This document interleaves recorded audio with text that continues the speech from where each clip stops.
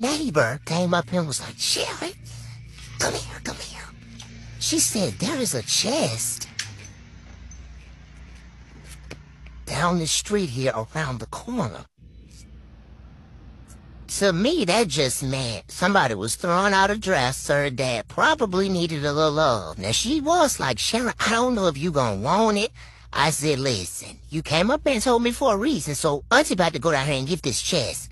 And here we go. So to the people whose yard, okay, the curb, I got it off of, do not have me on the internet on your ring camera on TikTok somewhere talking about this lady stole this out my yard because it was on the curb.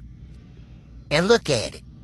It's a hot mess for now, but she gonna be a beaut when I get done because, man, she was free. I know for a fact this was trash, okay? We gonna slap some paint on her, make her look cute, and she's giving